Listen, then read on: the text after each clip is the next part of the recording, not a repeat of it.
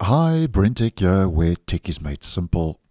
So, back in January of this year, with the optional bug fix C release update that rolled out near the end of January, which was KB 5034203, as I posted, Microsoft begun rolling out a richer weather experience. That's what they are calling it, which they said would include dynamic interactive weather updates on your lock screen for Windows 10 and um, it was rolled out using a controlled rollout, which they said um, over the coming weeks they would bring a richer weather experience to your lock screen on Windows 10.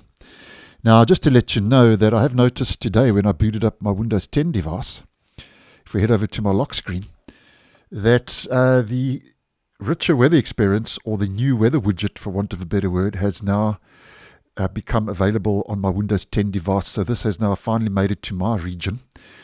And uh, this has been on a controlled rollout, so I'm just letting you know about it in case you were unaware, uh, because um, I know this has been progressively rolling out since the end of January.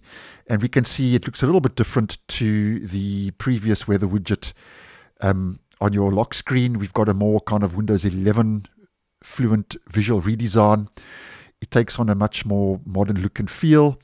And if I click on that and I log back into my um, device, it takes me directly over to Microsoft Edge where I can get a more in depth look at the weather through Microsoft Start and the weather report and so on. Now, um, if you are wondering how to turn this feature off in case you don't like the new dynamic um, updates and the richer weather experience on your Windows 10 lock screen, it's actually quite simple to do. You just head to your settings and you head over to your personalization page and we head to lock screen. And if you want to turn it off, all you do is you click on that and you say none, and that will remove that so-called weather experience or that richer weather experience, the new weather widget from your lock screen on Windows 10 in case you would be interested.